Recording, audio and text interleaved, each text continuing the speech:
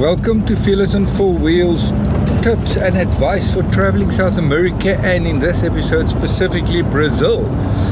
As we are driving towards Belém, we thought we would start with driving, traffic and navigation tips. So honey, what's your tips? Well, coming from Argentina, I found uh, that the traffic was a bit more, or the driving was a bit more aggressive, so um, people are not as nice and don't really give you a chance if you want to overtake. Um,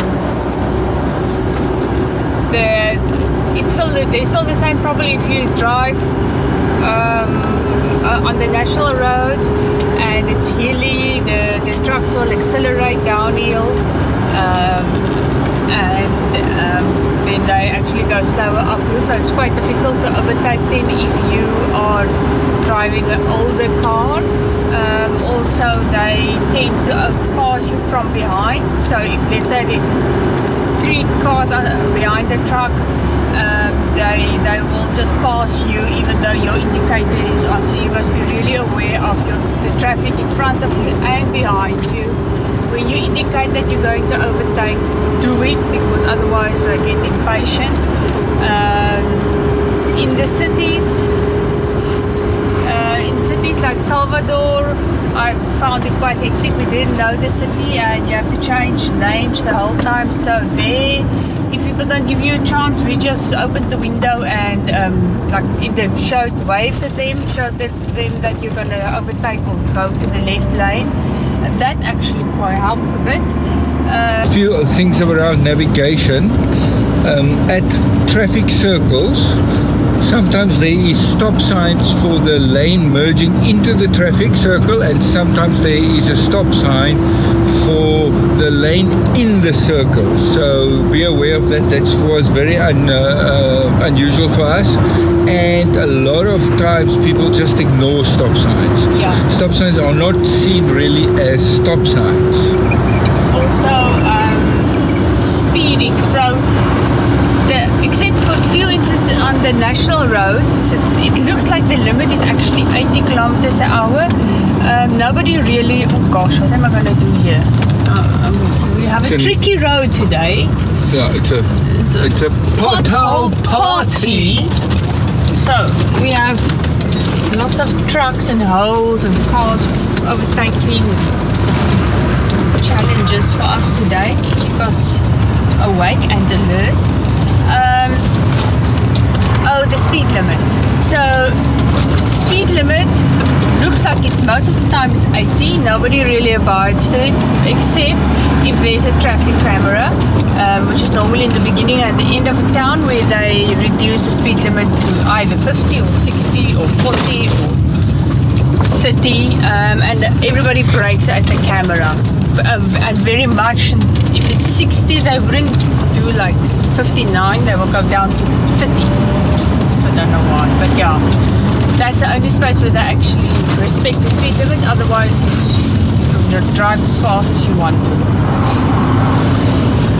Okay, yeah, and then a few things regarding uh, fuel is one of your biggest expenses if you are driving through Brazil.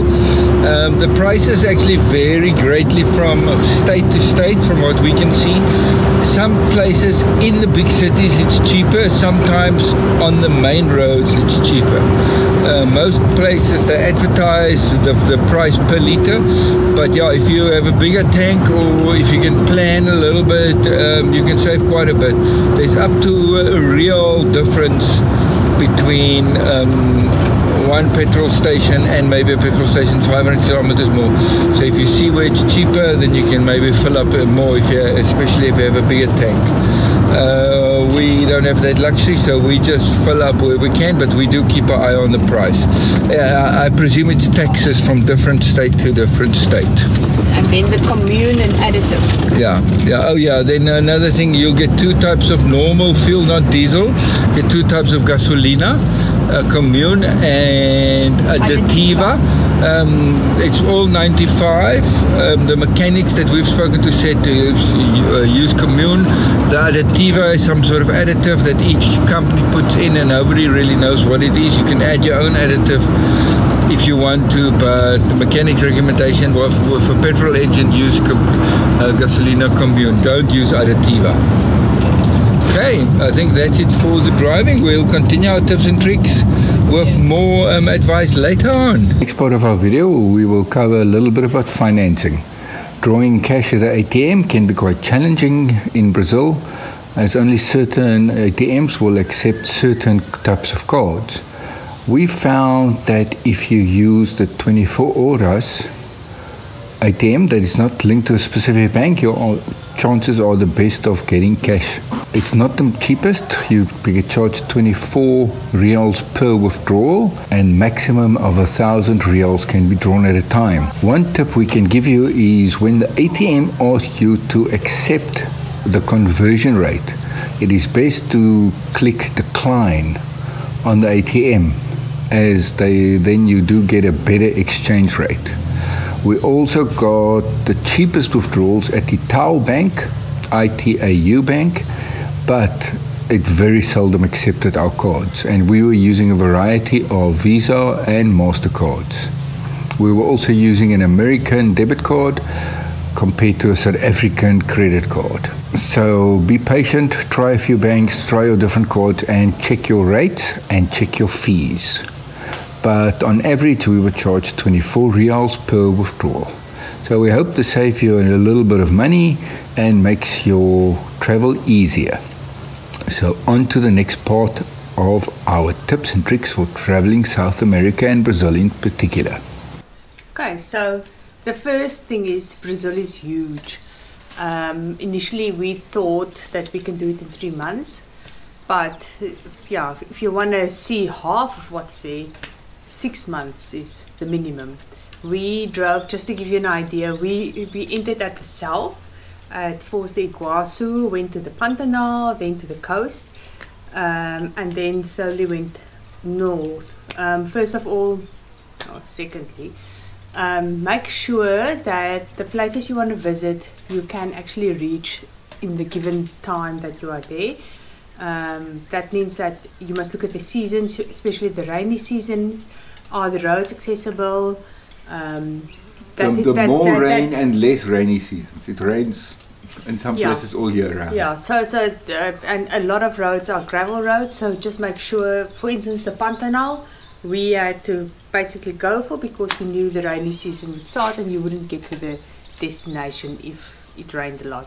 I'll link that video here. Yeah. So um, especially with the 2 by 4 two by four car. If it's a four by four, maybe you can do it, but it's still a bit, you know, serious stuff. And some places are more enjoyable certain times of year. Yeah. So just to give you an idea of the 17,000 kilometers we've done in our whole trip, 10,000 have been just in Brazil in five um, months. In five months. Yeah, then other things that will make your um, trip more enjoyable. if you're going to be here for a while, apply for a tax number. It's called a CPF number. You are asked for it a lot, and some things will just be easier to do um, if you have that number. What? For example, to get a SIM card will be easier if you have a CPF number. So mm-hmm. if you have the time, uh, apply for it online. You get it at the postal services, Correios, um, and the foreigner can get it. it. It's not an issue to get it. Um, we took a full day of walking around Sao Paulo to get a SIM card. If we had a CPF, CPF number, we could have gotten it from the first place we yeah. got into. Also, for, we for online shopping, um, at supermarkets, mm -hmm. uh, multiple places, you will get asked for it. Another thing that I want to mention is Portuguese. Um, it's not Spanish. And nobody really speaks English. So um, do yourself a favor if you have the time, learn a few Portuguese phrases. Um, we kind of like could get along with our broken Spanish. We could ask questions and, and but but yeah, it's still to, to get to lo- get to know the locals and um, just find out where places are. Um, yeah, a bit of Portuguese would have helped us a lot. We used Google Translate um, and that was sufficient, but yeah, yeah, it's yeah. not the same. Okay. Yeah, then um, campsites um, for us coming to from South Africa, where we are used to quite a well organized and nice campsites. Mm. It was very different in um, Brazil.